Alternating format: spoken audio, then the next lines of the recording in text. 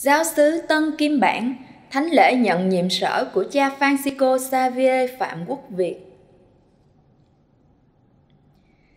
Vào lúc 9 giờ 30 thứ tư, ngày 4 tháng 7 năm 2018, tại nhà thờ giáo sứ Tân Kim Bản, giáo hạt Lạc An, giáo phận Phú Cường đã diễn ra thánh lễ nhận nhiệm sở của cha Francisco Xavier Phạm Quốc Việt sau 9 tháng 20 ngày làm cha phó biệt cư tại đây.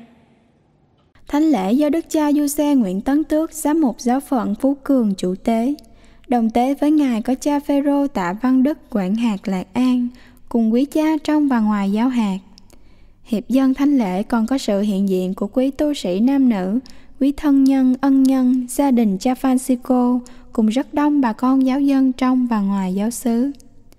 Khởi đầu thánh lễ, đoàn rước gồm Đức cha Du Xe, quý cha đồng tế cùng quý tu sĩ từ khu vực nhà xứ tiến vào thánh đường trong lời ca nhập lễ của ca đoàn.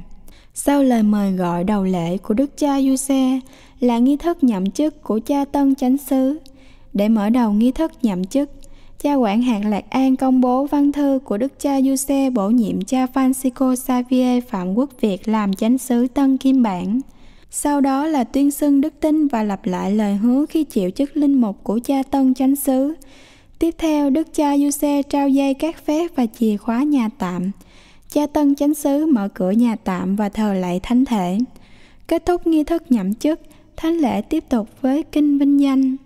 Trong bài chia sẻ lời Chúa, Đức cha Du Xe mời gọi toàn thể cộng đoàn hãy biết nhìn lên gương Đức Mẹ Maria với thánh hiệu hồn xác lên trời, bổn mạng của giáo xứ, hướng lòng về mẹ với trọn niềm tín thác, sống yêu thương và hợp nhất.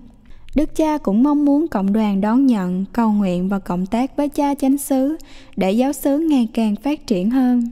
Ngài cũng gợi lại những nhiệm vụ của một cha chánh xứ với giáo xứ của mình, chăm sóc và nuôi dưỡng đời sống đức tin, cậy, mến, rao giảng lời Chúa, thực hành lời Chúa, sống khiêm nhường. Để kết thúc bài chia sẻ, Đức cha đã phó thác giáo xứ hoàn toàn vào Đức Mẹ Maria.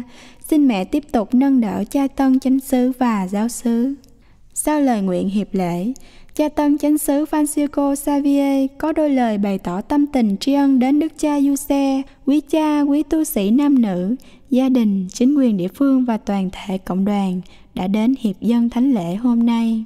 Cha Francisco Xavier cũng nhân kính Đức Cha, Linh Mục Nghĩa Phụ, cha hạt trưởng và cha cố Vinh Sơn những lẵng hoa tươi thắm với lòng biết ơn sâu sắc. Tiếp đó, vị đại diện Hội đồng Mục vụ Giáo sứ dâng lời tạ ơn Chúa, cảm ơn Đức Cha, quý cha đồng tế, quý tu sĩ nam nữ, quý ân nhân và ông bà cố cùng gia đình đã đến hiệp dân thánh lễ tạ ơn và chung vui với giáo sứ trong ngày đáng nhớ này. Vị đại diện cũng tặng hoa và chúc mừng cha tân chánh sứ Francisco Xavier trong sứ vụ mới. Thánh lễ kết thúc lúc 11 giờ trong bầu khí vui mừng của toàn thể mọi người.